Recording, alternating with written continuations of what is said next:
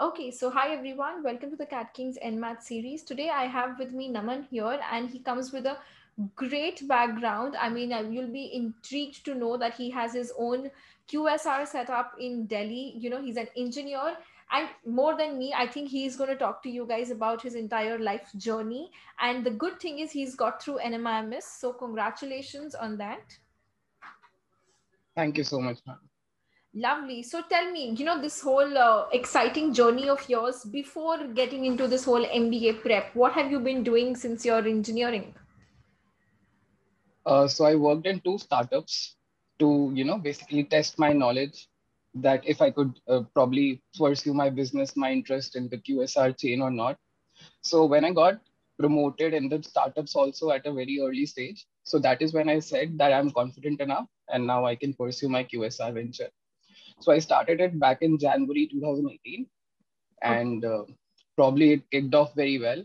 And I've been doing that for the past three years. So I, have expanded it from a eight by eight outlet to about four chains now. So yeah, Wow, doing very well. Lovely. So what does your QSR chains offer? What all things do you offer? Uh, except for South Indian, we offer basically everything. Plus a very good space for office people also. So that's a very different culture because I've been into the corporate culture. So I know they've got meetings to do and parties to have. So we give them proper private spaces as well. Oh, that's lovely. So You already have this really good business of yours, which is doing well what made you choose you know i want to do an mba now uh, ma'am there were certain instances during this journey when i used to stop and i used to think ki agar maine mba kari hoti so how would i have handled this situation? And this question arises a lot of times. So i have had the on ground experiences but i really want to know the you know the grand strategies that are involved basically in doing the business. I know the tactics but yes, doing the grand strategies, I can basically uh, shape my graph to a J-shaped graph. So I can basically expand five times doing an MBA. So yeah, that is why I said one, two years of uh, experience would help. Lovely. That's interesting. And how, when did you decide that you want to start preparing for these entrance exams? How many months before? Yeah. So July 19th, I had my birthday. So there was a friend of mine who is in NMIMS only. So she briefed me about the college, about the college culture. Okay. So that is when I said कि एक uh, shot दिया जा सकता है इस चीज So that is when I started preparing. July 20th I started. I got that in NMAT OG and certain other books. So yes, I started preparing from then on, and uh, it was a four month uh, journey. But yes, I used to study basically almost 20 hours a day. Wow. not less so amazing. Yeah. So amazing to, you know, be so passionate about something, working, studying along with your entire own business, which is there. So, how was your interview experience at NMIMS? I mean, did they grill you on this fact or did they really enjoy that you come from a different background? Uh, so, ma'am, I had a very good NMAT score. So basically, uh, probably they did not grill me much, but yes, they were very interested in knowing basically why I wanted to do an MBA. So uh, they they tried to buy me out.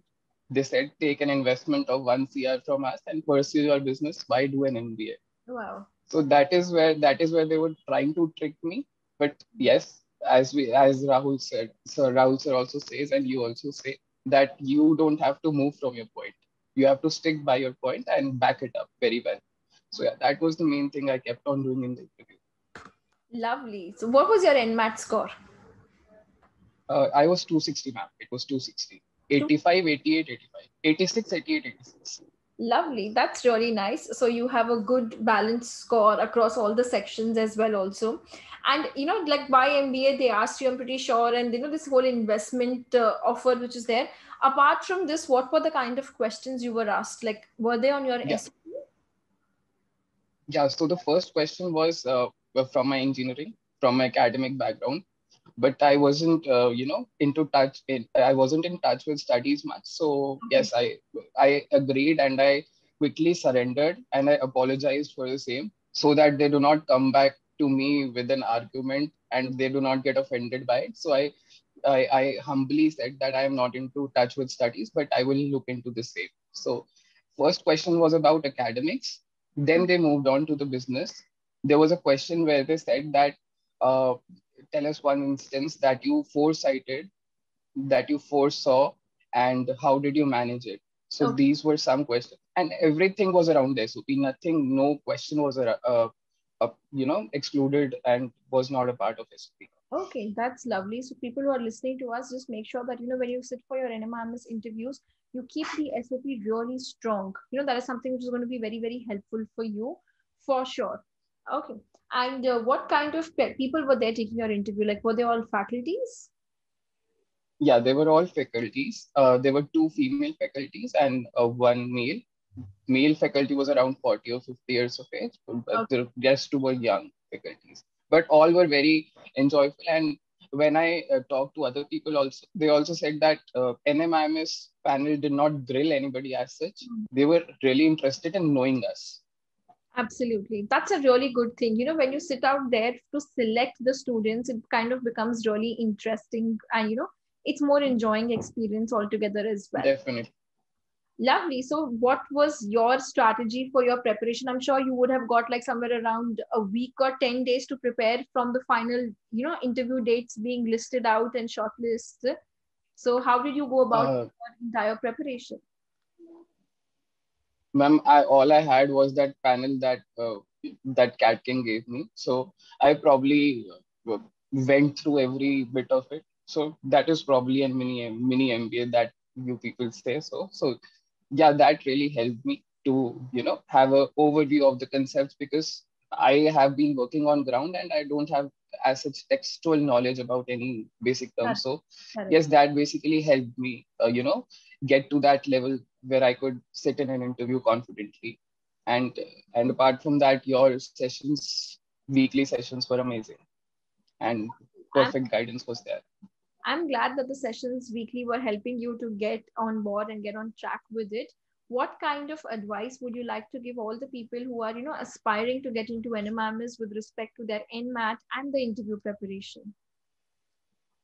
uh nmat i would basically say uh study with the level keeping the level of the exam in mind uh, and quick a quick mind should be there. The fast approach should be there to the questions.